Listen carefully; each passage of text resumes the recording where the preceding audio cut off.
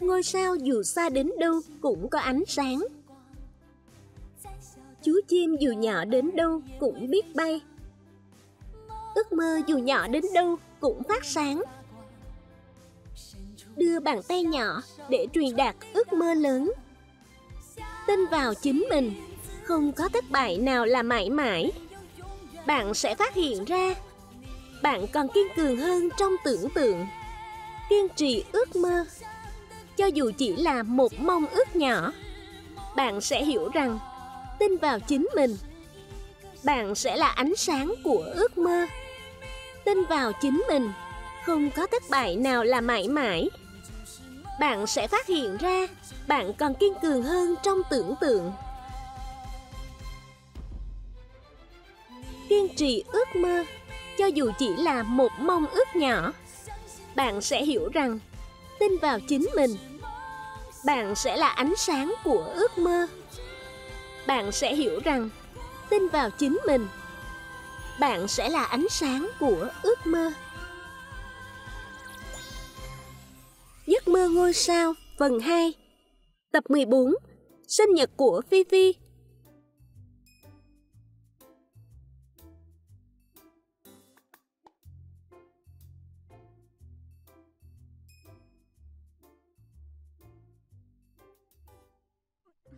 Phi bánh sinh nhật do mẹ tự tay làm cho con thế nào? Ngon lắm, ngon lắm ạ. À. Con ăn chậm thôi, có ai tranh với con đâu. Không thể ăn chậm được, hôm nay là sinh nhật của con. Nhất định các bạn đã chuẩn bị rất nhiều quà cho con. Phải nhanh chóng đến trường. Quà ơi, ta tới đây.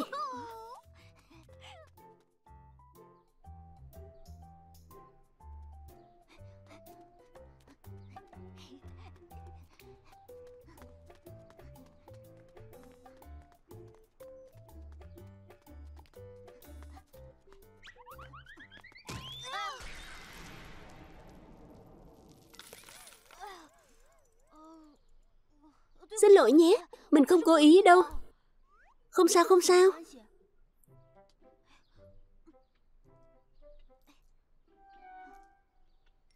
Thật xin lỗi, cậu xem có bị thiếu không?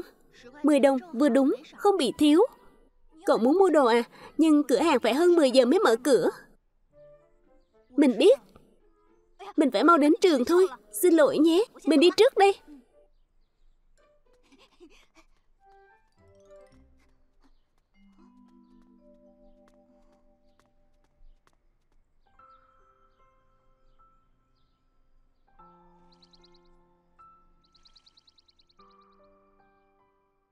Ten ten, Phi Phi tới rồi.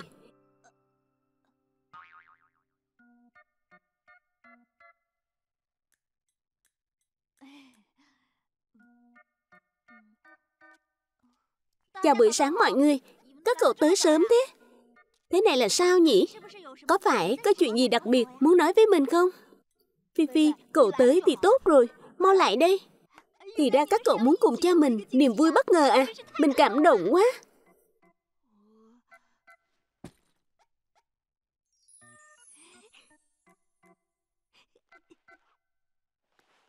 Con lợn tiết kiệm. Tuy không phải là thứ mình thích nhất, Nhưng các cậu có thể nghĩ tới mình Thì mình vẫn rất vui. Vivi cậu làm gì thế? Cẩn thận một chút. Cẩn thận cái gì? Đừng để người khác phát hiện ra. Tại sao không thể để cho mọi người biết? Hôm nay là ngày tốt, Mình hy vọng mọi người đều biết. Vivi cậu nói gì thế? Nếu mọi người đều biết, Thì lấp lánh sẽ gặp nguy hiểm các cậu nói gì thế? Chính là vừa nãy, lấp lánh đột nhiên biến thành con lợn tiết kiệm này. Cái gì? Thì ra, thì ra các cậu đang nói về lấp. Vivi nói khẽ thôi. Thì ra các cậu đang bàn bạc về chuyện lấp lánh biến hình. Mình còn tưởng là... Cậu tưởng là cái gì? Lẽ nào các cậu quên mất hôm nay là ngày gì rồi sao? Phiêu phiêu, đừng chọc mình nữa. Mình sợ nhột. Lấp lánh. Cậu cho rằng là ai ước điều gì Mà lại khiến cậu biến thành con lợn tiết kiệm thế này? Làm sao mà mình biết được? Nhưng mình rất thích biến thành thế này. Thế này ra ngoài chơi thoải mái tự do, còn không dễ dàng bị phát hiện. Lấp lánh, giờ cậu là lợn tiết kiệm, không phải lợn sống, không được chạy lung tung, biết chưa? Chán thật đấy, khó khăn lắm mới mọc được chân, vậy mà chẳng cho đi đâu cả. Tráng tráng, cậu thực sự không nhớ hôm nay là ngày gì sao? Cậu không mang theo thứ gì đặc biệt à? Ngày gì chứ? Mang theo thứ đặc biệt gì? Bồng bồng, cậu thì sao? Cậu cũng không mang theo thứ gì đặc biệt à? Làm sao cậu biết? Hôm nay mẹ làm bánh sandwich cho mình, mình sẽ không cho cậu đâu. Mình không nói tới thứ đó.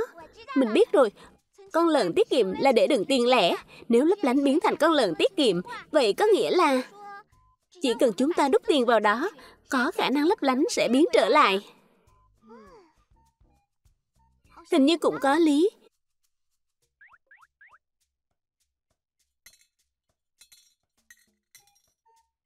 Sao không có thay đổi gì nhỉ?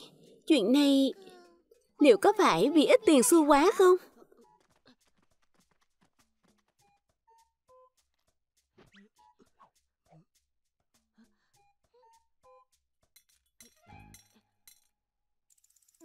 Cậu muốn làm mình mệt chết à? Xem ra thế này cũng không được.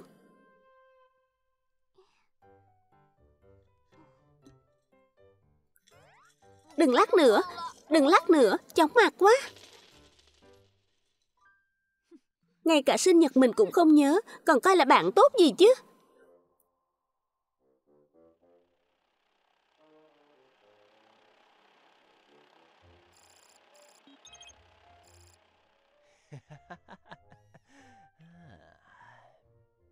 Cho dù ngươi biến thành hình dạng gì Thì ta cũng nhận ra ngươi. Lần này sẽ không để ngươi chạy thoát.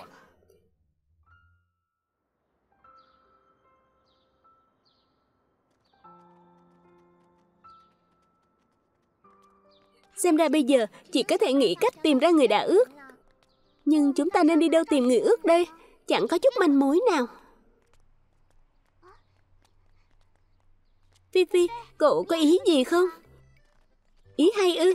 Giờ mình chẳng nghĩ ra gì hết, chẳng có ý gì. Hôm nay Phi Phi làm sao thế? Kỳ lạ thật đấy. Phi Phi, cậu đưa mình ra ngoài chơi đi. Cậu cẩn thận chút, rơi vỡ là thôi đấy.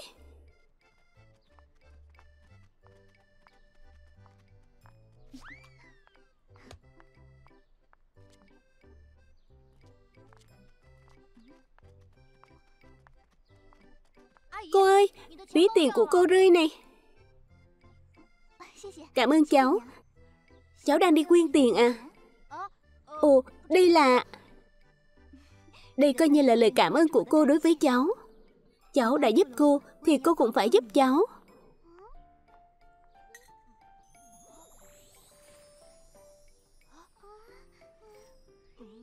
Phi Phi, lẽ nào chỉ khi cậu bỏ tiền xu vào thì mới có thể giúp lấp lánh biến trở lại? Đúng rồi, mình nhớ ra rồi. Vừa nãy ở trong lớp học, hình như cũng chỉ có Phi Phi chưa bỏ tiền vào. Mình nghĩ chắc là sau khi giúp đỡ người khác thì tiền xu mới có tác dụng.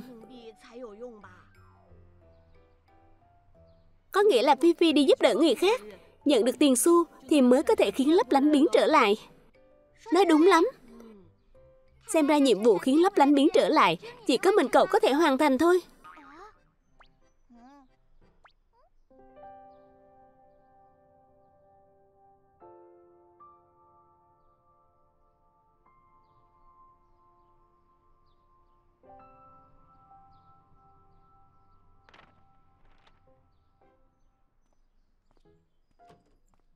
Kiếm tiền xu cho cậu kiểu gì đây?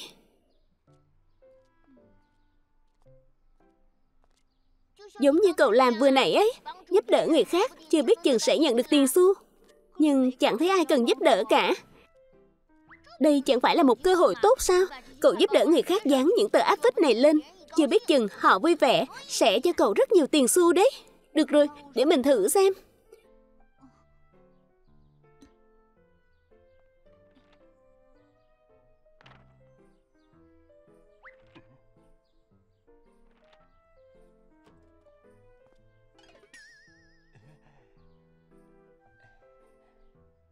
Chú ơi, cháu đã giúp chú dán áp phích xong rồi. Chú có thể cho cháu vài đồng xu không? Một đồng cũng được. Nói gì thế cậu bạn nhỏ? Chú cần phải đổi áp phích mới. Những tờ mà chú vừa mới bóc xuống, sao cháu lại dán lên rồi? Chuyện này... Gọi bữa hai bát cơm cũng được tặng đồ chơi à? Tuyệt thật. Không phải, không phải như vậy. Chương trình này đã kết thúc rồi. Đều tại cháu, hại chú lại phải giải thích với người khác.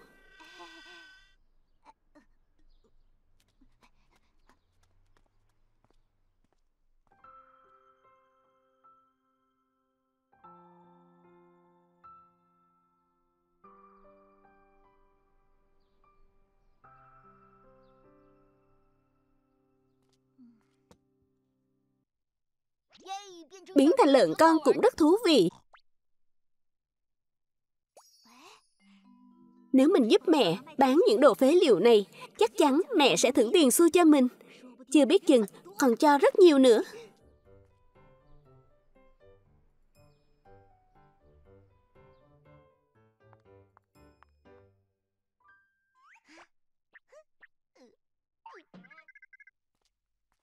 Mẹ ơi con về rồi Phi Phi Con có nhìn thấy tạp chí mẹ mới mua không Tạp chí ư Đúng thế là mẹ mới mua về. Mẹ nhớ là để ở cạnh cửa ra vào Nhưng lúc về thì chẳng tìm thấy đâu nữa. Lạ thật đấy. Mẹ nói tới đống tạp chí Ở cạnh cửa đó sao? Vừa nãy con bán chúng mất rồi. Hả? Con nói gì cơ? Bán mất rồi. Cái thằng bé này là mẹ tức chết mất. Con xin lỗi, không phải con cố ý đâu. Là đồ mẹ mới mua mà. Con quay lại đây cho mẹ, tức chết mất. Con quay lại đây cho mẹ.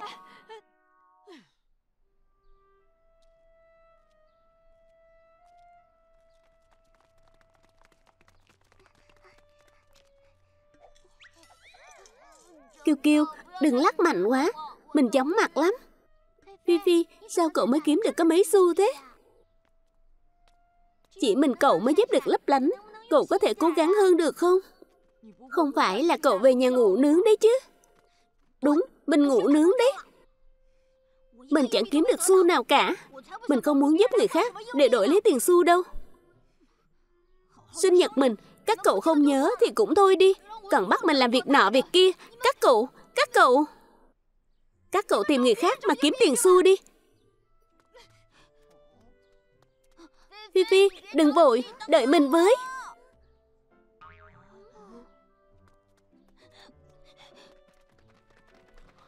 Phi Phi, Phi Phi, đợi mình với. Phi Phi cậu đừng giận, đợi mình biến trở lại, nhất định sẽ tổ chức sinh nhật bù cho cậu. Thật ra không có quà cũng chẳng sao, mình chỉ buồn vì họ đều quên hết cả. Nếu không phải tại mình vừa sáng ra đã biến hình thì chắc mọi người sẽ không quên đâu. Không phải đâu, căn bản là chẳng ai trong số họ nhớ cả. Đây mới là chuyện làm mình giận nhất. Hay là cậu coi con lợn tiết kiệm là quà đi. Cậu biến trở lại thì chẳng phải mình sẽ không còn quà nữa ư. Hơn nữa, mình chẳng kiếm được xu nào, sao có thể giúp cậu biến trở lại chứ? Đừng sốt ruột, rồi chúng ta sẽ tìm được người cần giúp đỡ thôi.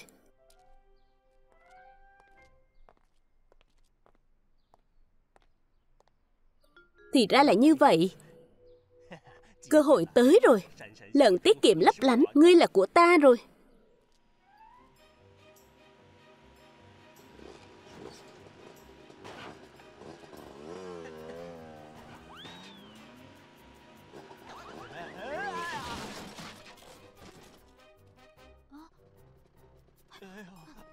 Chú ơi, chú không sao chứ?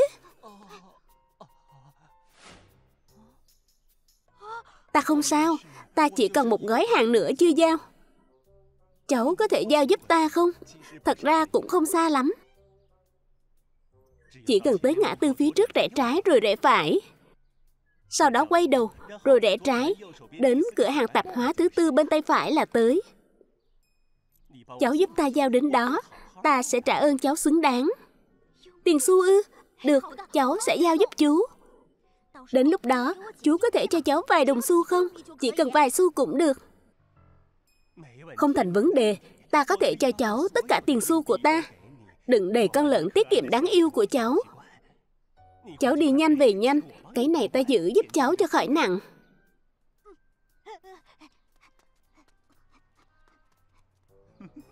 Dễ vậy đã được rồi.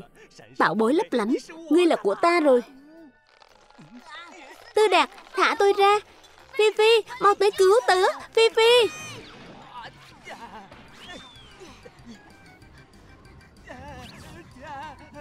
Dừng lại. Mau dừng lại. Mau dừng lại.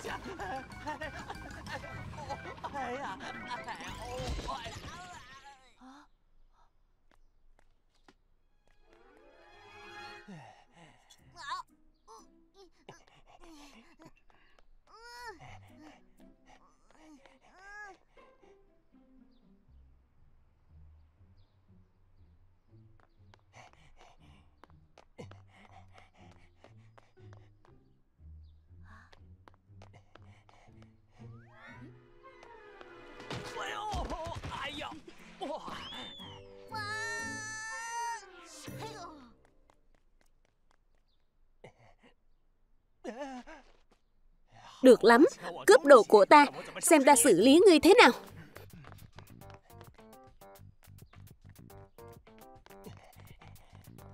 Phi Phi, mau tới đây, mau tới giúp tớ.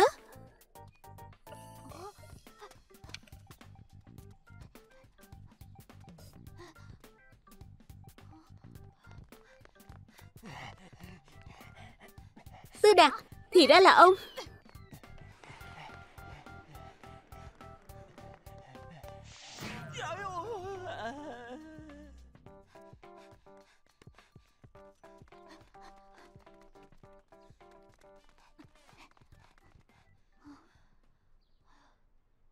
Cậu là... Cậu là cậu bé sáng nay mình đâm vào. Ừ, mình tên là Tiểu An. Cảm ơn cậu, đều nhờ cậu cứu lấp lánh. Sao con lợn tiết kiệm này lại biết nói? Là robot à? Công tác ở đâu? Đây là một bí mật Sau này mình sẽ kể cho cậu.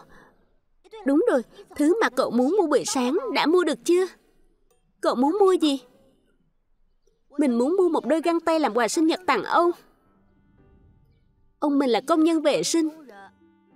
Găng tay của ông cũ lắm rồi, mà ông không nỡ đổi đôi mới. Nhưng cứ Tết đến là ông lại mua quần áo mới cho mình. Tiếc là tiền mà mình tiết kiệm không đủ. Hôm nay đã là sinh nhật của ông rồi.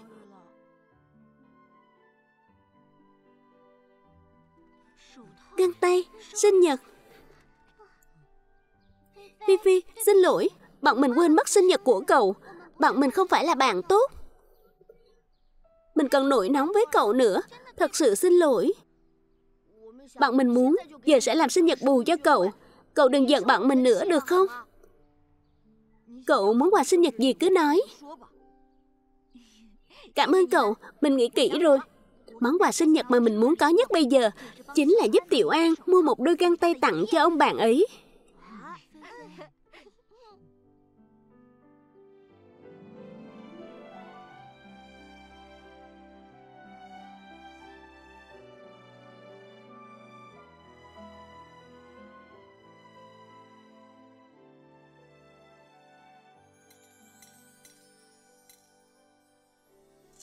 Phi Phi, đừng lắc nữa, chóng mặt.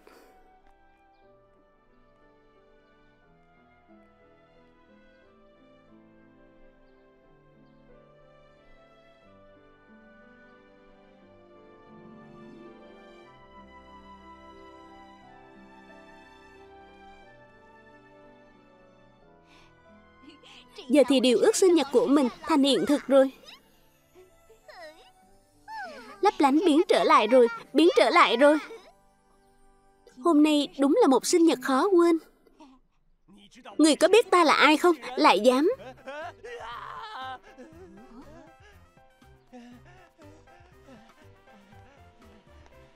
Cái anh này lại dám trộm xe của tôi, còn làm hỏng món hàng mà tôi phải giao. Anh gây cho tôi rắc rối lớn như vậy. Hôm nay không xử lý anh thì lại không biết sự lợi hại của nhân viên giao hàng.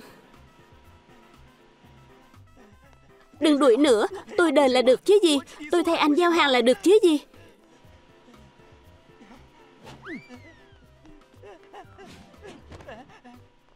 Chạy mau lên, còn rất nhiều gái hàng nữa cần giao.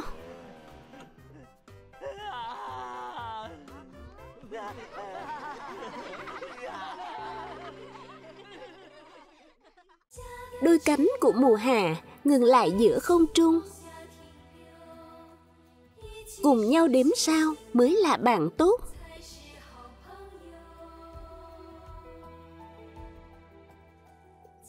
Mùi thơm quả chín mùa thu đang vẫy tay với mình.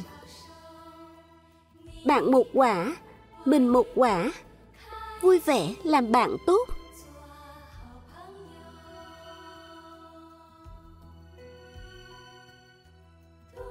Người tuyết mùa đông không nói chuyện. Trong lòng cậu ấy là một người bạn tốt.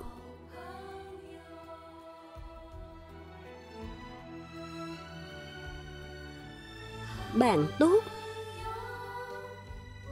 Chúng ta cùng nhau cố gắng hết sức mình. Bạn tốt. Chúng ta cùng nhau theo đuổi trò chơi mơ ước. Bạn tốt chúng ta cùng nhau chia sẻ nỗi lo trưởng thành. Bạn tốt. Chính là ở bên nhau bao lâu cũng không thấy đủ.